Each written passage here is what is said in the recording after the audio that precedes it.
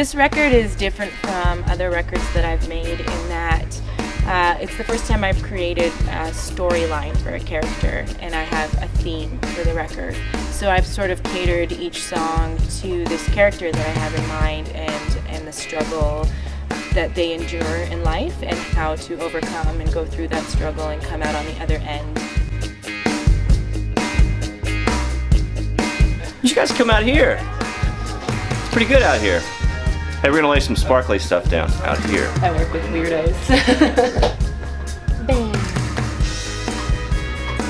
What I want this character to be. I want this character in this record to be the hope and the encouragement to get through the struggle.